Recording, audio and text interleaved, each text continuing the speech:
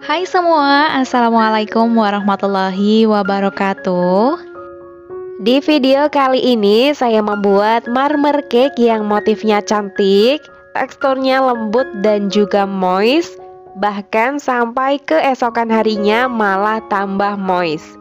Rasanya juga enak, tidak seret di tenggorokan.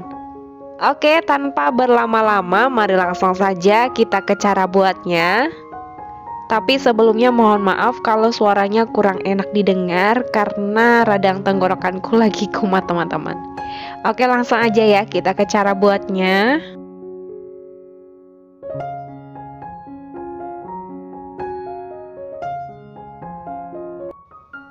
Pertama-tama kita siapkan wadah lalu masukkan 5 butir telur utuh suhu ruang 150 gram gula pasir 150 gram tepung terigu protein sedang 15 gram susu bubuk 15 gram tepung maizena 1 sendok teh SP teman-teman juga boleh menggantinya dengan TBM atau ovalet Berikutnya kita mixer semua bahan ini sampai mengembang putih dan kental berjejak untuk waktunya sekitar 10 menit atau tergantung dengan kecepatan mixer masing-masing. Di sini aku pakai mixer kecepatan paling tinggi dari mixernya Idealife. Oke, kalau adonannya udah mengembang, kental dan berjejak seperti ini serta licin, ini bisa kita matikan mixernya.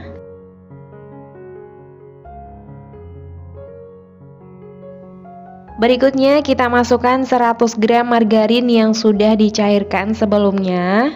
Nah ini margarinnya udah suhunya agak hangat-hangat ya Jadi bukan yang dingin banget dan juga bukan yang panas-panas. Kemudian masukkan juga 50 ml minyak goreng Lalu kita nyalakan lagi mixernya, gunakan kecepatan paling rendah, cukup dikocok asal rata saja ya teman-teman, jangan terlalu lama supaya adonannya tidak turun, yang bisa mengakibatkan bolunya itu bantat ya teman-teman. Nah aku rasa ini udah cukup, bisa kita matikan mixernya. Kemudian aku lanjut aduk menggunakan spatula untuk memastikan semua bahannya betul-betul tercampur dengan rata. Pastikan tidak ada minyak yang mengendap di dasar adonan supaya hasil bolunya nanti tidak bantat ya teman-teman. Dan kalau sudah dipastikan adonannya sudah tercampur rata, kemudian aku ambil 3 sendok sayur seperti ini untuk membuat motif coklatnya ya. Sementara yang ada di wadah besar ini kita sisihkan dulu. Untuk yang ada di wadah kecil kita tambahkan dengan pasta coklat secukupnya. Kemudian aduk sampai tercampur rata. Nah, kalau udah tercampur rata seperti ini, ini siap untuk kita gunakan. Di sini saya sudah siapkan loyang tulban dengan diameter 22 cm. Loyangnya udah aku oles pakai olesan Carlo ke seluruh bagian sisi dalam loyang. Kemudian ambil adonan coklat lalu kita masukkan di beberapa titik saja seperti ini sambil diratakan.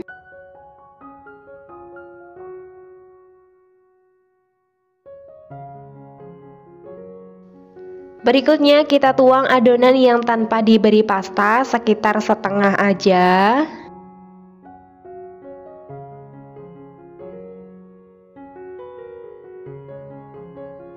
Kemudian kita timpa lagi pakai adonan coklat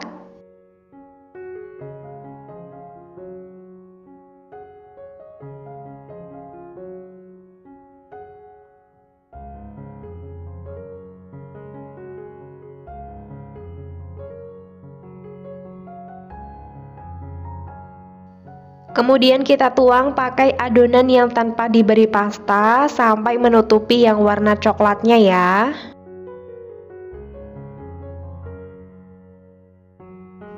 Kemudian kita hentakkan dulu supaya gelembung udaranya bisa keluar. Dan kita tambahkan motif di atasnya. Untuk motifnya bebas ya teman-teman, sesuaikan dengan selera teman-teman. Jadi jangan khawatir motifnya akan tenggelam ya teman-teman. Kalau adonannya teman-teman itu udah bagus Walaupun kita tambahkan dengan margarin semuanya Motifnya itu tidak akan tenggelam ya.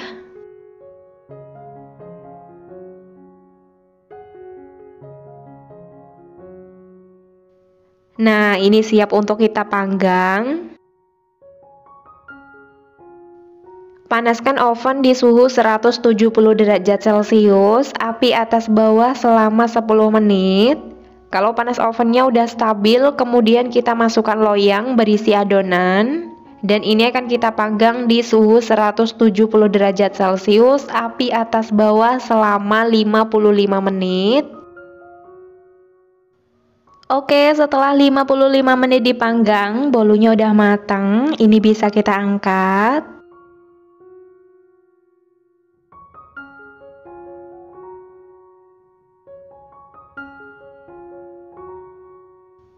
Nah ini dia bolunya udah jadi. Kalau teman-teman gak suka yang atasnya meletek-meletek seperti ini Bisa gunakan suhu 160 derajat celcius ya. Nah kalau cake-nya udah dingin Teman-teman bisa potong pakai pisau yang tajam ya.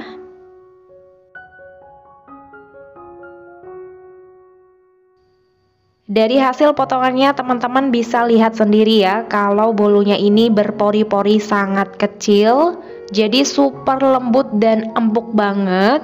Untuk motifnya juga lumayan cantik ya teman-teman.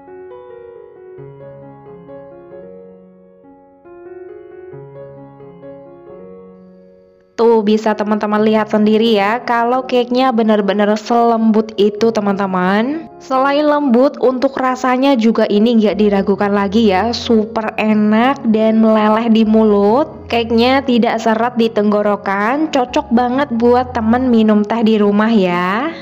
Recommended. Hai semua, Assalamualaikum warahmatullahi wabarakatuh di video kali ini saya membuat bolu santan gula merah Aroma gula merahnya yang wangi, rasa gurih dari santannya, serta tekstur bolunya yang super lembut membuat bolu ini lebih istimewa. Nah kalau kalian ingin tahu bagaimana caranya aku buat dan apa saja sih bahan-bahannya, yuk simak videonya sampai selesai ya Oke, tanpa berlama-lama, mari langsung saja kita ke cara pembuatannya.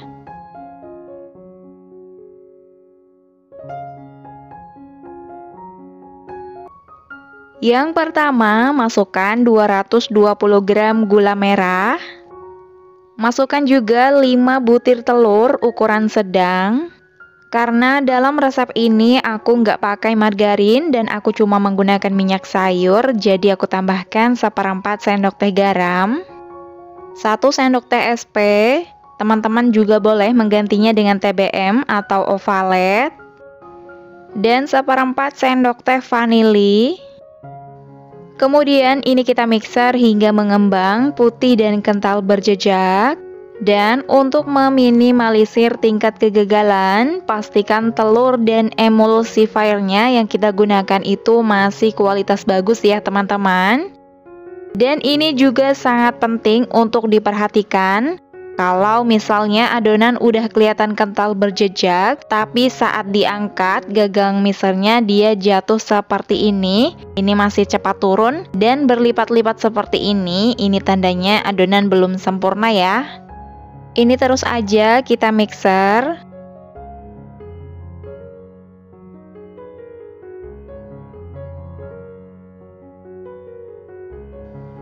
Nah ini dia adonan yang aku maksud. Bila kita angkat gagang mixernya Dia akan nyangkut di gagang mixer Dan akan turun secara perlahan seperti ini. Kelihatan adonannya mulus Gak ada sama sekali gelembungnya ya Selanjutnya sambil diayak masukkan 200 gram tepung terigu protein sedang. Ini aku masukkan menjadi dua tahap.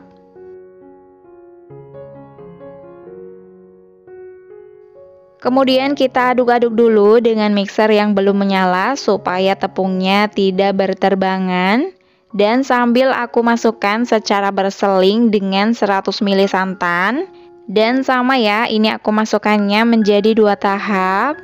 Kemudian kita mixer dengan kecepatan paling rendah, dikocok asal rata saja. Dan seperti ini cukup, matikan mixernya. Kemudian kita masukkan sisa bahan yang belum kita masukkan.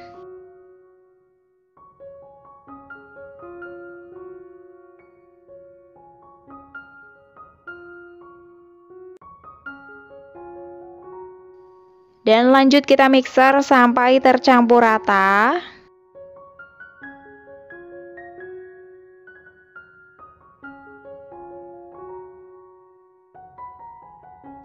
Nah, kalau udah tercampur rata seperti ini, bisa kita matikan mixernya.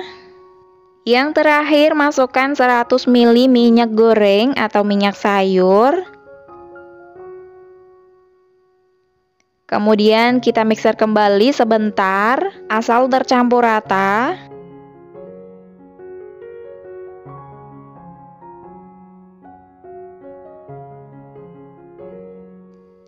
Dan aku rasa ini udah cukup, bisa kita sisihkan mixernya.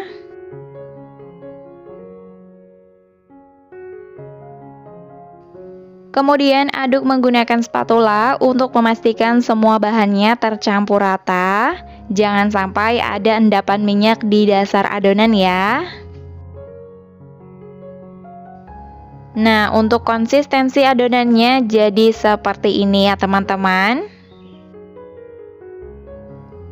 Untuk loyangnya saya gunakan diameter 20 kali 20 cm, tingginya 7 cm. Dan seperti biasa sebelum digunakan loyangnya ini tadi udah aku olesin dengan sedikit margarin dan aku taburi dengan sedikit tepung. Dan ini adonannya kita masukkan semuanya ke dalam loyang.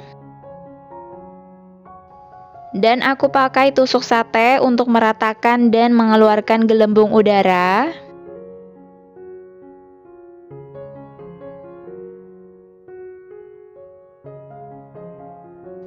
Kemudian aku hentakkan beberapa kali.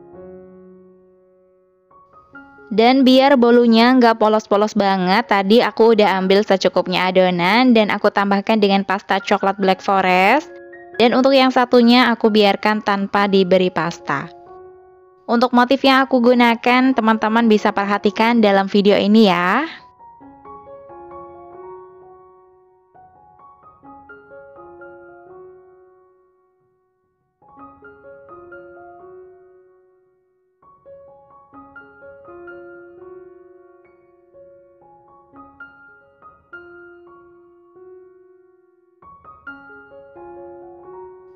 Nah, langsung masukkan aja ke dalam oven yang sebelumnya udah dipanaskan. Jadi untuk ovennya ini suhunya udah stabil ya. Dan ini akan aku panggang di suhu 160 derajat celcius, api atas bawah kurang lebih selama 45 menit atau hingga matang. Dan setelah bolunya matang, lalu kita angkat. Dan kita keluarkan bolunya dari dalam loyang. Nah ini dia bolu santan gula merahnya udah jadi. Setelah dingin teman-teman bisa langsung kemas di dalam dus ukuran 22 seperti ini.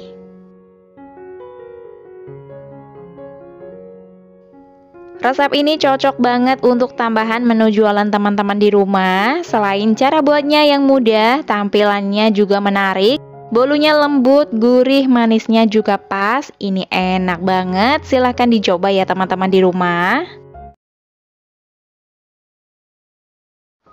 Hai semua, Assalamualaikum warahmatullahi wabarakatuh.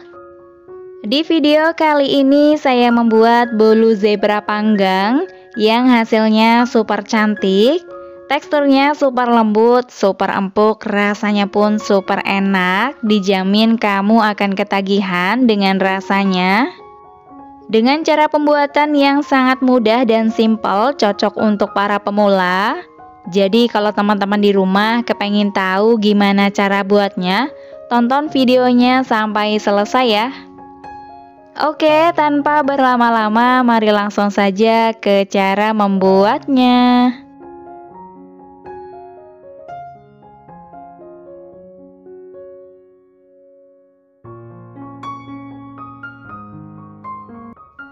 Pertama-tama di sini aku udah siapkan bahan-bahan untuk mengoles loyang atau biasa kita sebut olesan Carlo. Di sini udah ada satu sendok makan tepung terigu, satu sendok makan margarin dan satu sendok makan minyak goreng. Kemudian kita aduk rata seperti ini. Kalau udah rata, selanjutnya kita oleskan ke loyang. Di sini saya gunakan loyang ukuran 20 kali 20 cm, tingginya 7 cm. Nah, ini kita oleskan merata ke seluruh bagian dalam loyang. Kalau sudah rata seperti ini, ini bisa kita sisihkan terlebih dahulu. Berikutnya kita lelehkan 90 gram margarin dengan cara ditim seperti ini. Kemudian kita aduk-aduk seperti ini sampai mencair. Nah, kalau sudah mencair seperti ini, bisa kita angkat. Dan tunggu hingga dingin dulu baru bisa kita gunakan. Berikutnya, siapkan wadah. Masukkan 5 butir telur ukuran sedang. Tambahkan 115 gram gula pasir 1 sendok TSP Boleh diganti dengan TBM atau ovalet. Kemudian tambahkan juga 150 gram tepung terigu protein sedang.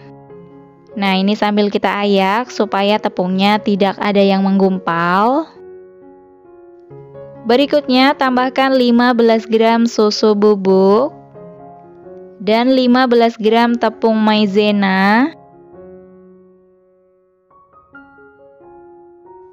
Kemudian kita nyalakan mixernya dengan kecepatan rendah sampai tercampur rata.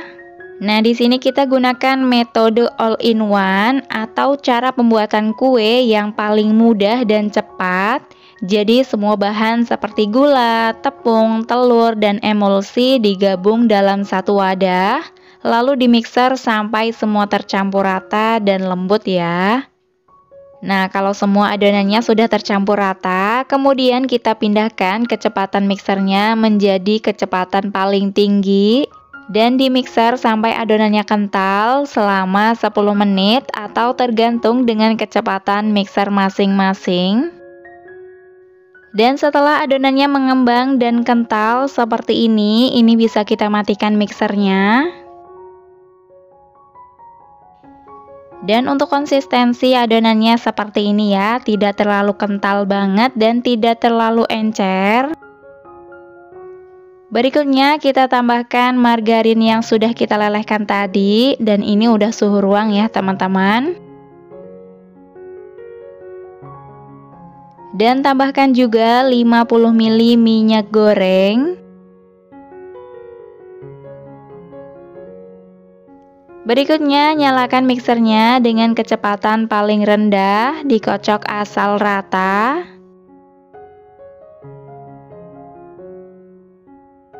Dan seperti ini cukup, matikan mixernya.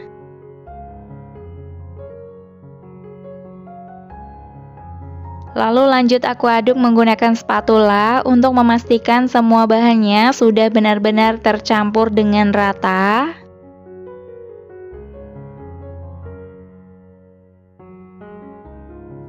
Nah, seperti ini udah tercampur dengan rata ya.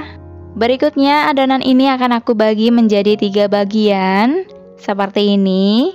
Untuk adonan yang pertama, beratnya kurang lebih 280 gram. Dan untuk adonan yang kedua dan ketiga, beratnya kurang lebih 200 gram. Kemudian untuk adonan yang beratnya 200 gram, kita tambahkan dengan pasta mocha dan pasta coklat black forest secukupnya. Kemudian aduk rata.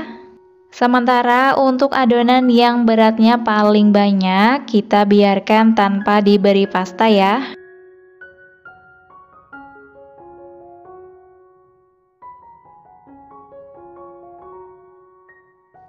Kemudian kita tuang adonannya pada satu titik tengah Pertama kita tuang adonan putih sebanyak 3 sendok makan.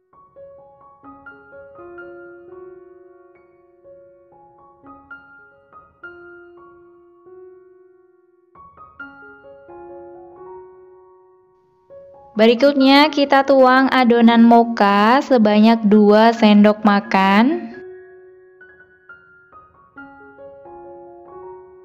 Berikutnya kita tuang juga adonan coklat black forest sebanyak 2 sendok makan. Dan meskipun nanti dia bergerak ke arah pinggir misalnya, tetap saja kita istiqomah ya menuangnya pada satu titik saja. Dan lakukan hal yang sama sampai semuanya selesai ya teman-teman. Untuk adonan putih kita tuang sebanyak 3 sendok makan. Dan untuk pasta mocha dan coklat kita tuang sebanyak 2 sendok makan.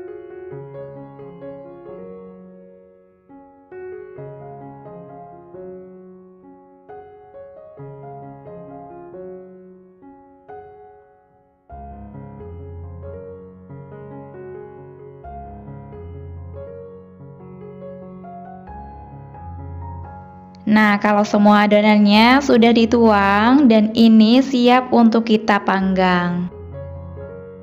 Dan sebelumnya ovennya sudah aku panaskan di suhu 150 derajat, api atas bawah selama 10 menit. Setelah panas ovennya stabil, kemudian kita buka penutup ovennya dan kita masukkan loyang berisi adonan. Dan ini akan kita panggang di suhu 150 derajat api atas bawah selama kurang lebih 60 menit atau bisa disesuaikan dengan oven masing-masing ya. Dan setelah dipanggang kurang lebih 60 menit, ini dia hasilnya. Masya Allah, bolunya mengembang dengan sempurna ya teman-teman. Warnanya juga cantik banget. Kemudian kita lakukan tes tusuk untuk memastikan bolunya udah matang ya. Nah ini nggak ada yang nempel, artinya bolunya udah matang, bisa kita angkat.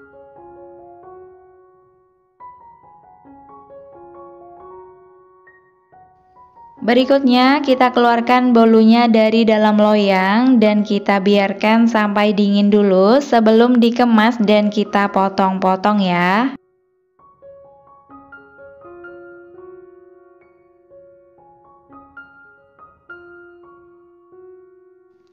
Kalau untuk jualan, teman-teman bisa kemas menggunakan dus ukuran 22 cm seperti ini. Lalu kita tambahkan dengan kertas renda dan pisau seperti ini. Dan ini siap untuk kita jual. Nah, sekarang bolunya akan aku potong. Dari potongannya ini udah berasa kalau bolunya benar-benar empuk dan lembut banget. Nah, ini akan aku perlihatkan detail bolunya. Wow, benar-benar ini beneran super lembut dan empuk banget. Pori-porinya halus banget ya, teman-teman. Motifnya juga cantik banget. Mantep ya.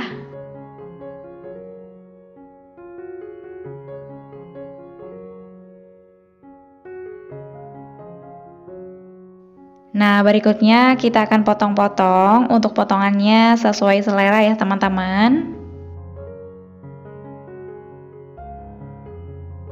Pastikan teman-teman menggunakan pisau yang tajam ya untuk memotongnya supaya hasil potongannya itu rapi.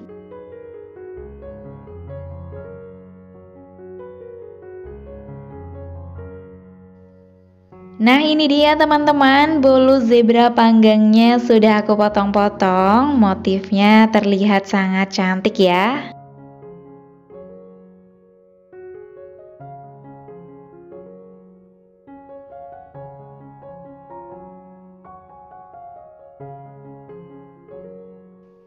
Nah ini aku ambil satu untuk mencicipi. Masya Allah bolunya benar-benar empuk dan lembut banget ya teman-teman Bolunya menul-menul banget, seratnya juga halus.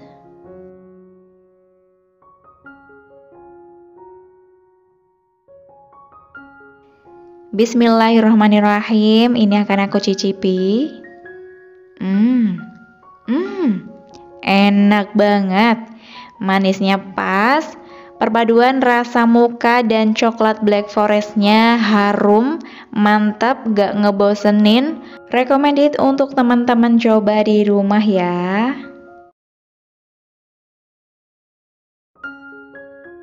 Hai semua, Assalamualaikum warahmatullahi wabarakatuh. Di video kali ini saya membuat menu jualan baru nih teman-teman. Tadi sangka ternyata banyak yang suka dan ketagihan dengan rasanya Dengan cara pembuatan yang sangat mudah dan simple, cocok untuk para pemula jadi kalau teman-teman di rumah kepengen tahu gimana cara buatnya, tonton videonya sampai selesai ya.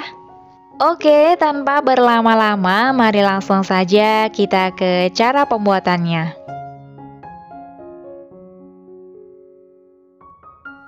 Langkah pertama, kita siapkan bahan utamanya dulu. Di sini sudah aku siapkan 250 gram pisang yang sudah matang.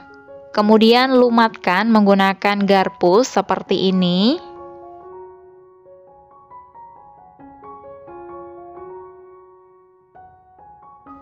Nah, kalau sudah halus seperti ini, bisa kita sisihkan terlebih dahulu.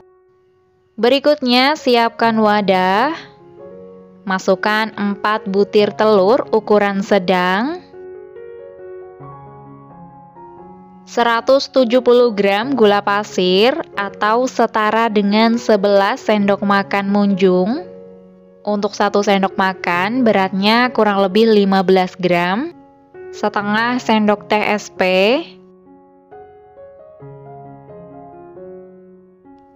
Berikutnya, ketiga bahan ini akan kita mixer menggunakan kecepatan bertahap dari yang terendah hingga yang paling tinggi sampai adonannya mengembang, putih dan kental berjejak. Untuk waktunya sekitar 7 sampai 10 menit atau tergantung dengan kecepatan mixer masing-masing.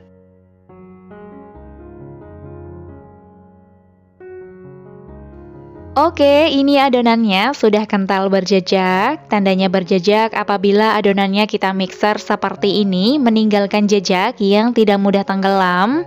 Kemudian bisa kita matikan mixernya.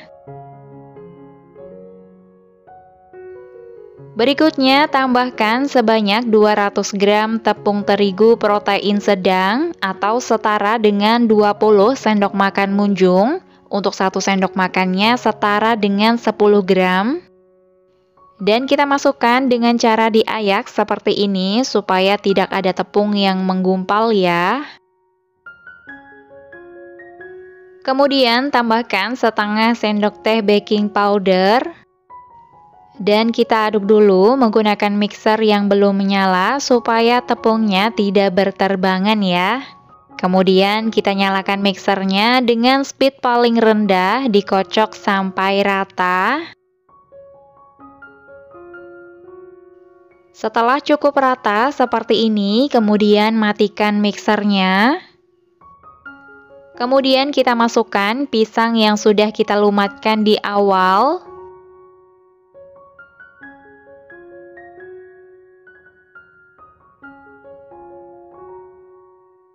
Lalu diaduk menggunakan mixer, cukup asal tercampur rata aja.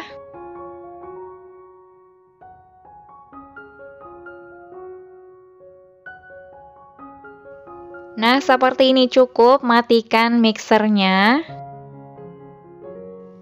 Terakhir kita masukkan 150 gram margarin yang sudah dilelehkan ya, dan ini udah suhu ruang.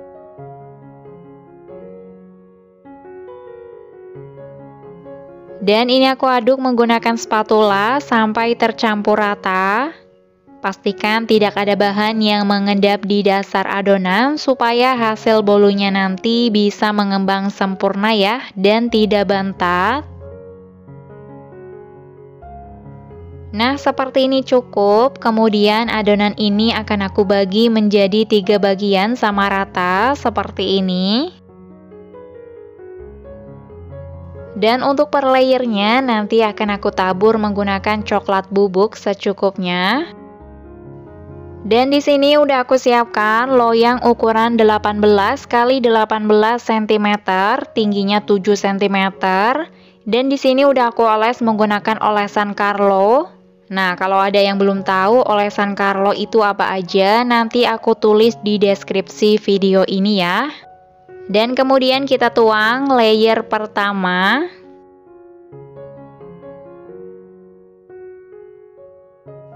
Kemudian ini aku hentakan dulu supaya tidak ada gelembung udara. Lalu tabur dengan secukupnya coklat bubuk.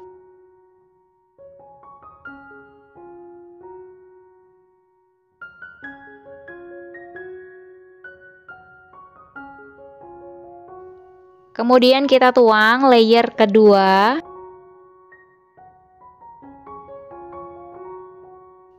Nah, ini kita ratakan dulu seperti ini. Kemudian kita tabur lagi menggunakan coklat bubuk secukupnya.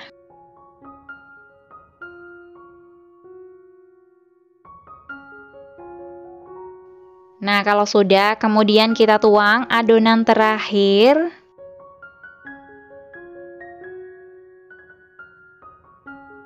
lalu diratakan.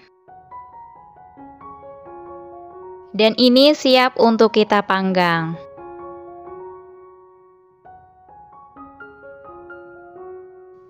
Berikutnya, panaskan oven di suhu 170 derajat Celcius, api atas bawah selama 10 menit.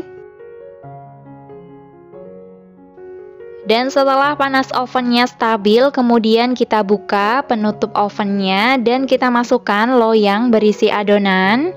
Dan ini akan kita panggang di suhu 170 derajat Celcius, api atas bawah selama 20 menit.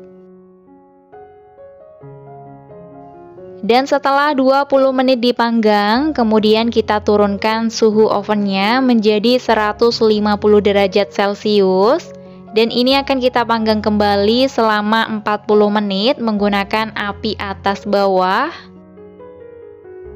Nah, ini bolunya udah matang, bisa kita angkat.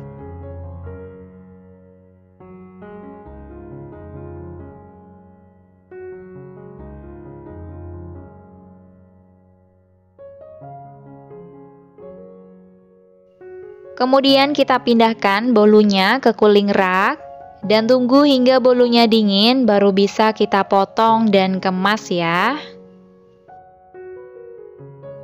Dan ini dia bolunya setelah dingin dan udah aku rapikan pinggirannya. Ini aku namakan bolu lapis coklat pisang. Kalau untuk jualan, teman-teman bisa jual per loyang seperti ini atau mau dipotong-potong sekalian juga bisa.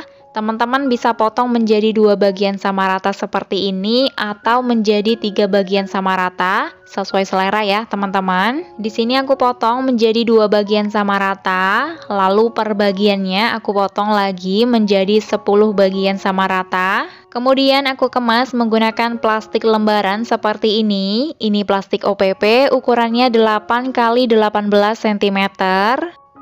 Teman-teman bisa membelinya di Shopee ya, supaya lebih murah dan nanti aku tulis linknya di deskripsi video ini, tinggal teman-teman check out. Dan seperti biasa, supaya lebih menarik, kita tambahkan dengan stiker thank you seperti ini. Nah, ini siap untuk kita jual ya, teman-teman.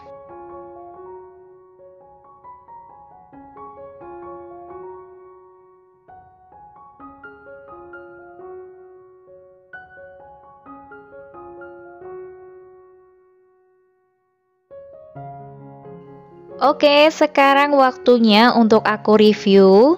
Dari tampilannya ini sih menarik banget ya.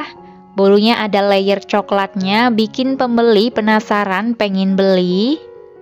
Bolunya juga harum banget. Rasa pisangnya berasa, apalagi dipadukan dengan coklat bubuk, makin menambah cita rasa yang enak banget. Bikin ketagihan, Makan satu aja nggak bakal cukup nih teman-teman. Ini recommended untuk teman-teman coba di rumah. Oke, selamat mencoba di rumah. Semoga bermanfaat.